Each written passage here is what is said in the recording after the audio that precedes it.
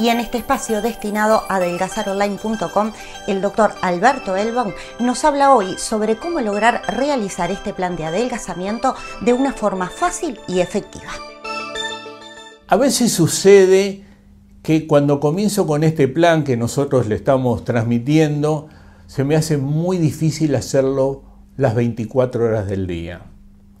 Entonces nosotros trabajamos con un tip que es muy importante, solo por mi próxima ingesta. ¿Qué quiero decir con esto? Bueno, que yo a veces desde el desayuno hasta el almuerzo se me complica, entonces me programo un desayuno saludable, que puede ser un, un té, un café con leche, un yogur, una fruta, y ya me programo para el almuerzo.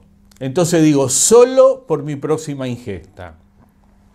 Y cuando termino el almuerzo, que nosotros siempre transmitimos que el almuerzo tiene que comenzar con dos tazones de caldo, un plato, una gelatina o una fruta, una infusión y un cepillado de dientes, que lo vamos a explicar eso en algún programa, ya me programo para la merienda, que puede ser igual que el desayuno un café, un té o un café con leche, un yogur, una manzana, siempre hablamos de yogures y todos los, todos los lácteos descremados entre un año y 99 años, y ya me programo para la cena. ¿Qué quiero decir con esto?